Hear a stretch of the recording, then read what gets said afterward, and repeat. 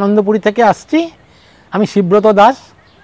আমি গত বছর এই পুষ্পকাহন চ্যানেল থেকে দেখে আমি এই জামাল ভাইয়ের সঙ্গে যোগাযোগ করি এবং পুষ্পকাহন চ্যানেলে জামাল ভাই যেভাবে সবাইকে গাছ করার জন্য অনুপ্রাণিত করছে এবং পুষ্পকাহন চ্যানেল যেগুলো সেইভাবে প্রসারিত করছে, আমি সত্যি অনুপ্রাণিত এবং আমি সেই জন্য পুষ্পকাহনের একজন রেগুলার সাবস্ক্রাইবার আমি প্রত্যেক মানুষের কাছে অনুরোধ করব যদি আপনারা গাছকে ভালোবাসুন, গাছ লাগান, এটা শুধু পরিবেশ বান্ধব নয়, আপনার মানসিক জোরও আপনাকে দেবে।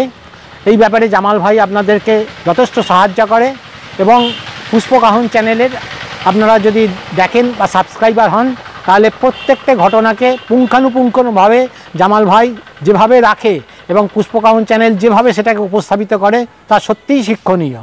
আমি আশা করি আপনারা এই চ্যানেল দেখে জামাল ভাইকে এবং পুষ্প চান, কানন চ্যানেল চ্যানেলটিকে আরও এগিয়ে নিয়ে যেতে সাহায্য করবেন।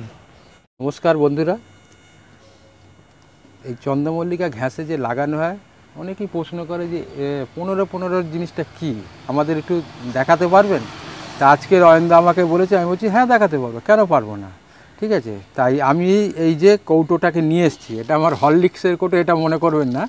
আমি এই খাবারটা, এটা পঞ্চাশ কিলো প্যাকেট পাওয়া যায়। ঠিক আছে? আমরা লুজ কিনে নিয়ে আসি।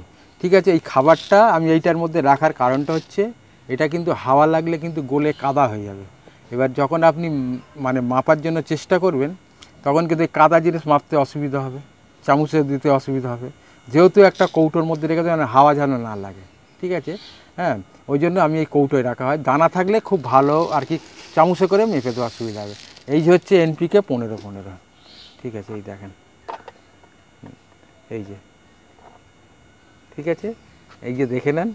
হুম, এই জিনিসটা। এই এনপিকে পনেরো পনেরো সুফলা। সুফলা। এই জামাল এটা কোন কোম্পানির অথবা আপনি দোকানে গিয়ে এটা এটা এটা আমি আমি শুধু দোকানে গিয়ে বলি পনেরো পনেরো সুফলা দাও আচ্ছা ঠিক আছে?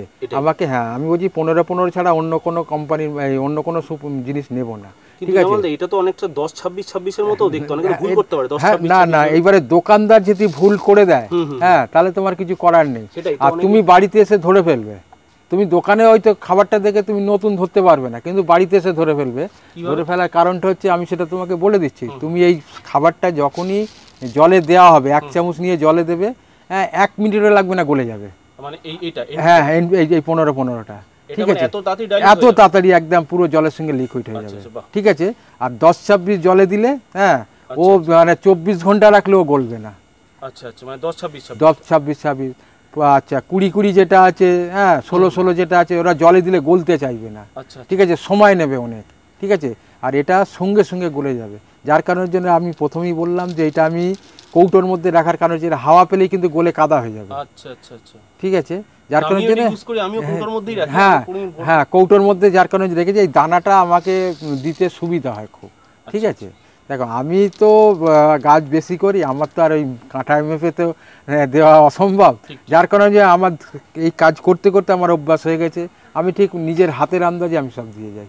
জামাল দা, যারা এই পনেরো পনেরো পনেরো সুফলাটা পাবে না হ্যাঁ। ধরুন দোকানে নেই কিন্তু তাদের সমরেশীয় এনপিকে তো দেবে। তারা কি উনিশ উনিশ উনিশ অথবা কুড়ি কুড়ি কুড়ি ব্যবহার করতে পারে? যদি না পায়? ষোলো ষোলো করে দেবে ষোলো ষোলো। হ্যাঁ হ্যাঁ হ্যাঁ। আচ্ছা মানে ওটা উনিশ উনিশ কুড়ি কুড়ি হ্যাঁ হ্যাঁ রিস্ক হয়ে যাবে মানে বেশি হ্যাঁ হ্যাঁ। পার্সেন্টেজ হ্যাঁ, হাই হ্যাঁ, হ্যাঁ, হ্যাঁ, মানে পনেরো পনেরো অথবা ষোলো হ্যাঁ ষোলো। ষোলো আচ্ছা কিন্তু দশ ছাব্বিশ ছাব্বিশ দিতে পারবে না। অ্যাকচুয়ালি অনেকে যারা বোঝে না তারা এরকম দেখতে দশ ছাব্বিশ হ্যাঁ দশ হ্যাঁ ছাব্বিশ দশ চলে ছাব্বিশ আসে। হ্যাঁ। তখন দশ ছাব্বিশের মধ্যে ব্যাপারটা যে দশ ছাব্বিশের মধ্যে পটাশের ভাগটা বেশি আছে। ঠিক। ছাব্বিশ পার্সেন্ট পটাশ আছে। যেহেতু আমার পম পম পিংচিংয়ের গাছ আমাকে তো গাছটাকে টেনে লম্বা করতে হবে। ঠিক আছে? যার কারণের জন্য পটাশের তো গাছকে খেতে দেবে না। ছাব্বিশ পার্সেন্ট পটাশের কাজই হচ্ছে ছাব্বিশ পার্সেন্ট পটাশ আছে গাছটাকে কন্ট্রোলে রেখে দেবে বেশি খেতে দেবে না। যার কারণের জন্য মানে দশ ছাব্বিশটা দিতে নেই। পনেরো পনেরো আবার কিন্তু আপনি ডিওপিটা দিতে পারবেন না। পুরো নাইট্রোজেন হয়ে যাচ্ছে। গাছ টেনে বিশাল লম্বা করে দেবে। ঠিক আছে? ওই জন্য এটার মধ্যে সব রকম ভাগ সমান আছে এইটাই আমরা বেশি ব্যবহার করি। মানে এক কথায় হচ্ছে পনেরো পনেরো পনেরো চেনার সহজ উপায় আমি জলে হ্যাঁ জলে দিলেই দেবো। ভাগ জলে দিলে সাথে সাথে।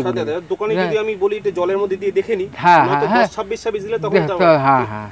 তো আমার পয়সাটাও নষ্ট আমার জিনিস হ্যাঁ হ্যাঁ জিনিসটা এ মানে বলেন তো মানে যারা না জানে ভীষণ ঠকান ঠকতে হয়। ঠিক আছে ঠকতে হয়। ঠকতে হয় মানে দামের মানে পয়সার হিসাবে আমরা কিনি এখান থেকে এক কিলো নয় পঁয়ত্রিশ টাকা। আচ্ছা। ঠিক আছে? আমাকে এক ভদ্রলোক সেদিনকে যে মানে এক কিলো নিয়ে যে সাড়ে তিনশো টাকা। এই তো এটা তো জানে না বলেই তো এই জন্য না জানলে যা হয় আর কি। ঠিক আছে। হ্যাঁ পঁয়ত্রিশ চল্লিশ টাকা পাঁচ টাকা অন্য জায়গায় বেশি নিক ঠিক আছে। আমরা কিনি খুচরো কিনি পাঁচশো এক কিলো কিনি পঁয়ত্রিশ টাকা আবার যখন পঞ্চাশ কিলো যখন কেউ কিন যদি কেনে তার রেটটা আরও কমে যায়। ঠিক আছে তখন তো পুরো বস্তা ধরেই নিয়ে নিচ্ছে প্যাকেট ধরেই নিয়ে হ্যাঁ, নিচ্ছে। ঠিক আছে পঞ্চাশ কিলো প্যাকেট ধরেই নিয়ে নিচ্ছে। ওই জন্য। হুম। তা, বন্ধুরা, হুম, এই যে আমি চন্দ্রমল্লিকার যে চারা বিক্রি করি, ঠিক আছে, আমি নিজের কাটিং নিজের মাদার, ঠিক আছে, হুম, আমি এই যে চারা যে, চারাগুলো যে বিক্রি করি, দেখেন আমার পুরো প্রচুর প্লেট এরকম দু লাট উঠে গেছে আমার দু লাট বিক্রি হয়ে গেছে, ঠিক আছে, এই লাটটাও দেখেন পুরো ফাঁকা হয়ে গেছে, আবার এই সাইডে এই লাটটা মানে ধরেছি এই লাটটা মানে দু একদিনের মধ্যে এটা রুট এসে যাবে, এগুলো সব নিয়ে চলে যাবে ঠিক আছে? প্রচুর পার্টি আসছে আমার কাছ থেকে চারা নিয়ে যাচ্ছে এবং যারা পাইকারির জন্য বলছে যে আমাকে বেশি চারা দু হাজার, তিন হাজার, আমি যে দাদা আমি খুচরো পার্টিকে চারা দিয়ে পাচ্ছি না আর আমি পাইকারি দিতে পারব না। ঠিক আছে? আগে আমি খুচরো পার্টি যারা গাছ করবে তাদের দেব হ্যাঁ? দিয়ে যখন চারা যদি বেশি হয় তখন আমি চিন্তা ভাবনা করব। ঠিক আছে? আজকে আমার আমার যারা বাড়িতে গাছ করবে, যারা গাছ ভালোবাসে, আমি তাদের আগে দেব। ঠিক আছে? তারপরে পাইকারির কথা আমি পরে চিন্তা করব। ঠিক আছে?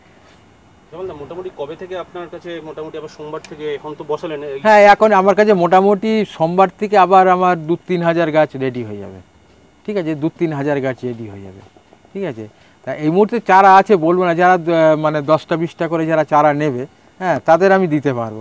কিন্তু কেউ যদি বলে আমার একশো হ্যাঁ দেড়শো চারার দরকার আমি তাকে দিতে পারব না। কারণ সব ভ্যারাইটি আমি তাকে দিতে পারব না।